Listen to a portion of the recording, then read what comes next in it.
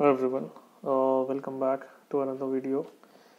Uh, in this video, we are going to talk about the error, the name error, name requests is not defined.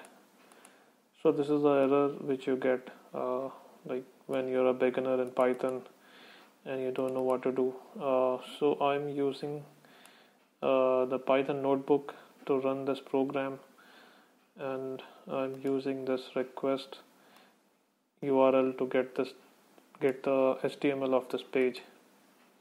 Okay but this does not work right now uh, because it is giving me this error. So whenever you get this error uh, you can make sure like you have not imported the request. But here as you can see I've imported this.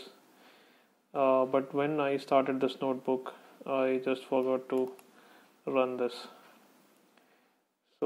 let me run this import request. Okay and I think this is successful.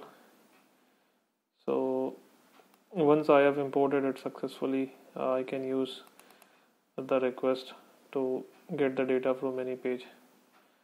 Okay so let me try this.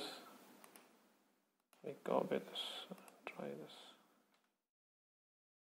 okay yeah so that was the issue guys. So since the import was not uh, that command was not executed we were seeing this issue. And once you execute the command you'll never get this exception. If you're using it in the console uh, you have to import the requests. Uh, if you are running a python script uh, just make sure you have installed the uh, requests from pip.